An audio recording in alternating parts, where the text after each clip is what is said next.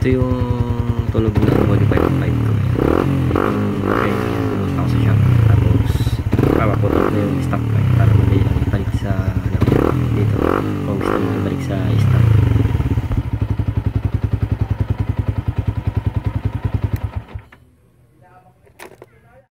So, ayun guys, nandito na ako sa shop. Ayun yung stock pipe ko. Ito yung modified. Ang gagawin ko dyan, papaputol ko lang yon para pag gusto mong ibalik hugutin mo lang. Ayan o hugutin mo lang banda dyan. Para madali lang ibalik yung stock. Ayan tatanggal lang ni kuya.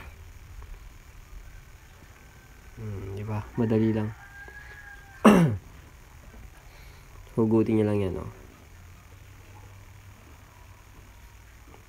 okay kaya mo yan kuya.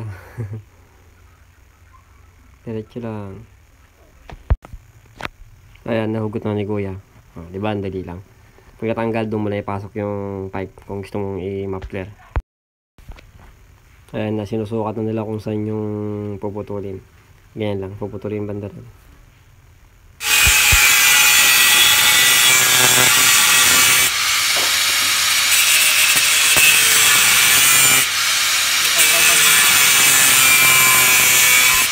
Ayan, pinuputol na ni kuya, tapos mamaya sasalpak na yan. Ayan guys, tapos na.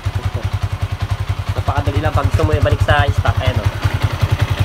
Ibutin mo lang. Ito yung type ko. Ayan yung modify. Sana ano, sana nakatulong. Tahimik na siya, parang stock na talaga. Ayan, diba? Tapos ito yung stock ko, ito yung elbow na dati.